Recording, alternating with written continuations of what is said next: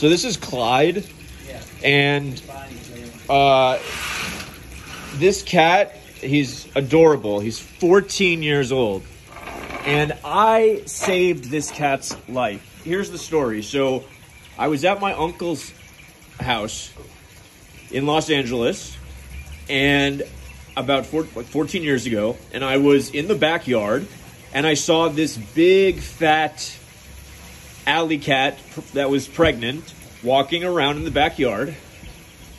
And the next morning, I got up and I go into the backyard, and there was just a litter of five kittens. Aw, oh, look at you. Okay, I'm not gonna skip. Sorry, I got up too suddenly. And so there was this cat, whose name is Clyde, a cat that looked exactly like Clyde but a little smaller, who's now called Bonnie, two gray cats, and one orange cat. And that's because when a cat gives birth, they give birth to all of the uh, offspring from all of the males that they've mated with. So that's why there's some that look one color in a litter, some that look another color in a litter, etc. So the mother had abandoned them. She was nowhere to be seen. And we, me and my uncle, we, we took we took all of them in and we raised them from from kittens. And it was it was great. And cats, it's there's certain things you have to do when they're very very little. Things that the mother would do if she were here, but because she's not, that they they can't do.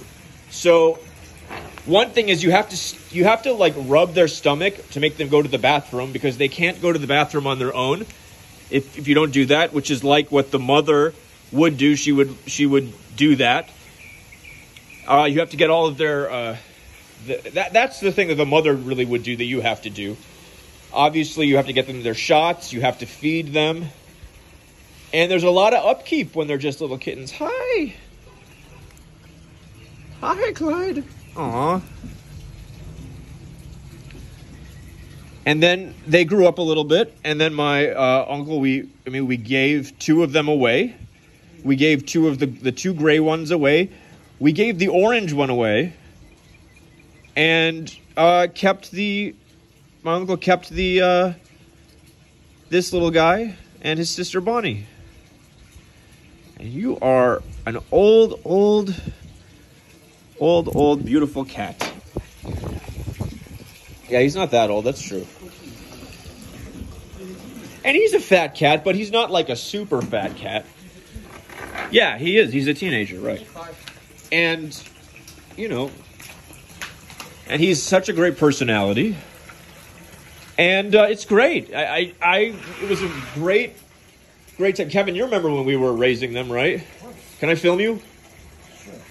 You remember that, right? When we were we were raising them, and yeah, Hey, Clay, you from the house? we put a lot of work into them.